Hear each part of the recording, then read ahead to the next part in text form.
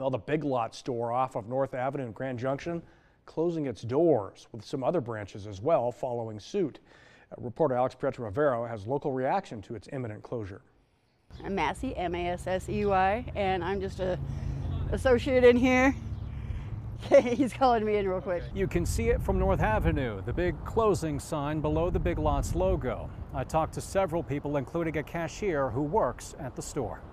I don't like it. It's I don't understand it, but they say it's the economy, so. Lana Massey has been working at the Big Lots off North Avenue for close to two years. First as a freight truck unloader, then a cashier. Our interview was cut short after the store's manager came out. We got to do that, so. This Big Lots branch joins several others across the Centennial State, with stores in Aurora, Littleton, and Longmont closing its doors.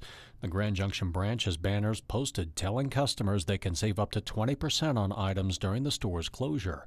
One customer I talked with told me it was the banner that got him to stop. Drove past it earlier and saw that the sign saying they're closing the their stuff on sale. So Dallas, a customer at the store, talked with me about her experience after shopping. They are good deals because the like the toys were like 20% off. But those good deals come at a price.